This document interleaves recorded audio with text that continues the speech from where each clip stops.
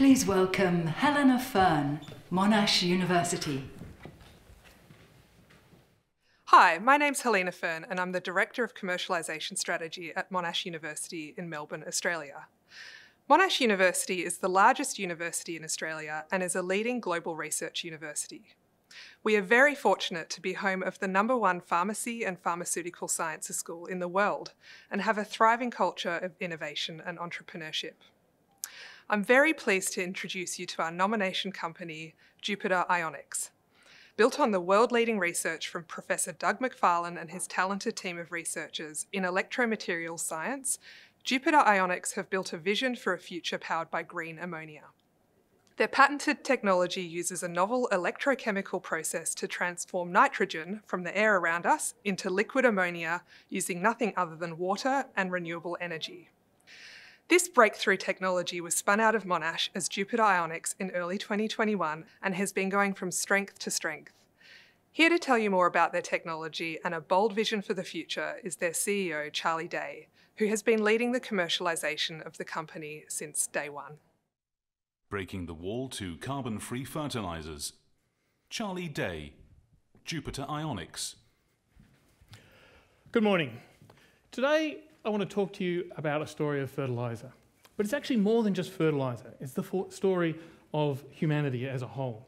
You see, 150 years ago, people got their fertilizer from naturally occurring sources, like this pile of bird poo or guano as it's called. But as the 20th century dawned, the world realised that sources like this were running out and the world's food supply was in under threat. Put simply, we had reached the limits of what Mother Nature could provide for us. But fortunately, two Germans came to the rescue, Fritz Haber and Carl Bosch, and developed the process that today bears their name. The Haber-Bosch process takes uh, hydrogen, typically derived from fossil fuels, and combines it with nitrogen from the air around us in a, in a high temperature and high pressure process to make ammonia, which is a key precursor for all nitrogen-based fertilisers. And thanks to these two Germans, through the 20th century, the world's population continued to grow and we were able to make enough fertiliser to feed that world. But today we face a new challenge. We are once again hitting a limit of what Mother Nature can do for us. Because using fossil fuels to power the Haber-Bosch process generates two tonnes of carbon dioxide for every tonne of ammonia that we make. That means that fertiliser production is responsible for 2% of the world's carbon dioxide uh, emissions today. So if the world's past in the 20th century relied upon us finding a synthetic pathway to make ammonia, our future may well depend on our ability to find a carbon neutral synthetic process to make green ammonia. Um, but there's a bonus here, because if we can make green ammonia, it doesn't just help us to solve the fertiliser problem. It can also help us to solve other decarbonisation challenges that we face, including the need to decarbonise international shipping. Ammonia makes a great fuel for such ships.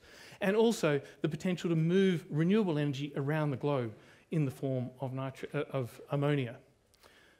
But it's no small challenge because not only do we need to come up with the infrastructure to make green ammonia to the tune of 200 million tonnes today's demand, but if these things all pay out, we need to find a way to make three to four times as much by 2050. And that is where our company, Jupiter Ionics, enters the story. You see, our founders, Professor Doug Macfarlane and Professor Alexander, Dr. Alexander Simonov at Monash University in Australia, have cracked the code of a new pathway to make green ammonia. Like the Haber-Bosch process, it uses nitrogen from the air around us, but crucially, it uses electricity to drive the process rather than fossil energy. That means that we can drive it with renewably generated uh, electricity from wind and solar powered sources. Crucially, it also means that we can run this process um, at smaller scales and in a more distributed fashion, potentially making ammonia much closer to the point of use, for example, on the farm. And that's important because if you want to build a Haber-Bosch plant today, the typical upfront cost is about a million, uh, about a billion US dollars. Our technology opens up the chance to build much, much smaller plants where the price of entry is in the millions or potentially even less. So we can move to a much more decentralised world for the production of ammonia. Now, the scientific significance of our work has already been recognised. We've had publications in Science and Nature in the last couple of years. Um, but the commercial significance has also been recognised by partnerships with major Australian corporates, including Wesfarmers and Fortescue Future Industries. And working with those partners, our team of talented scientists and engineers are working to bring this technology to scale as quickly as possible. We started this journey uh, with uh, reactors that were barely larger than the head of a pin, but uh, we achieved results that were uh, in line with targets set by the US Department of Energy. Today, our latest prototypes can still be held in the palm of your hand, as you see our co founder, Professor Doug Macfarlane, doing here.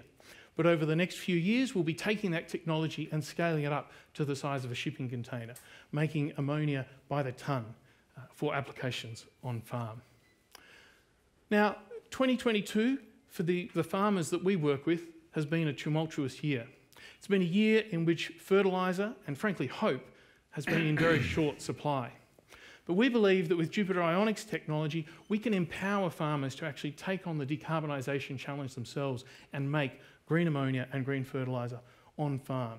And we think that'll bring hope not just to those farmers, but to all the rest of humanity that depends on them for our food. Thank you.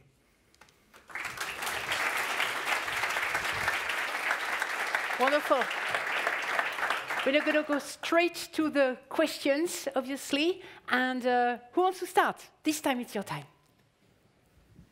Hi, thank you for the great presentation. Can you talk a little bit about the catalyst and the availability of that catalyst as you think about scaling?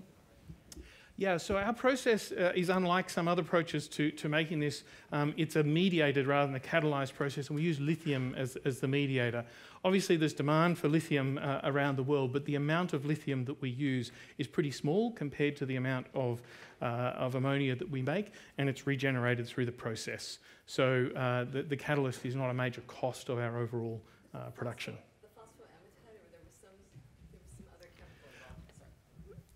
Yeah, so the, the, um, there's a phosphonium salt that we use as a proton carrier within the, uh, within the reactor. Again, not used up during the process, so not a major cost to the overall uh, production cost. Next question by Sabine. Can we have the microphone, please? Thank you. So thank you very much. Very exciting. Uh, do you have already customer in your pipeline? Um, so we're still relatively early in our technology journey. We're at, at, at TRL5. So we have two partnerships that I mentioned, um, and we're working with a number of farmers who would like us to place pilot units onto their farms. Okay. Um, and so over the next two years, we, we plan to place uh, pilot units onto farms, but we don't have customers just yet. We're a little bit too early in our product development. Thank you. Thank you, Stefan, and then Anna. Can you talk about the energy bill compared to the use of fuel and your in your system? What's the difference? Uh, yeah, so the, the, um, uh, the cost of energy is one of the key costs of the, of the inputs in our process. Um, our process currently is slightly more, uh, cost, more costly in energy terms um, than the Haber-Bosch process, but we are cheaper in capital cost terms. So we, we uh, make up a benefit on the capital cost uh, uh, in, in contrast to our energy cost, but that's a key part of our research development program is to pull that energy cost down over time. Next question, Anna, please. Basically, um, uh, same question, uh, similar question. Um, so it's amazing that you um, uh, like decentralize the production, uh, but um, due to economy of scale, I guess in, in total the, the cost per ton of ammonia would be much higher. Or do you can you elaborate on that? Um, yeah, so interestingly, uh, the, the, cost of ammonia per tonne has tripled in the last two years, thanks just to, to market forces. And so, um, when we talk about what's the competitive price of ammonia, it's a, it's a challenging question.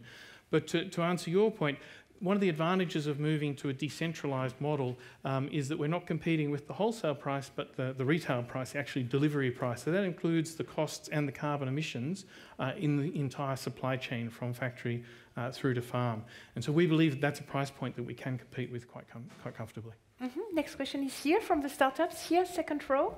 Yes, thank you. Very cool tech. Do you use any precious metals in the electrochemical cell?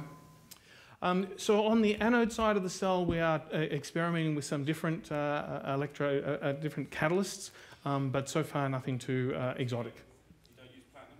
No. Okay, we would have time for a very last question. Yes, please, here, first row, also from the startups. how much heat is generated from the process from things like overpotential losses and things like that, and how do you remove that? Yeah, so there is heat. The inefficiencies in the cell uh, do generate heat, um, but we, we uh, release them through simple cooling systems. 30 seconds. Last question. Anyone? Okay. Well then, sure? Good. Thank you very much. Good luck for the rest. Thank you.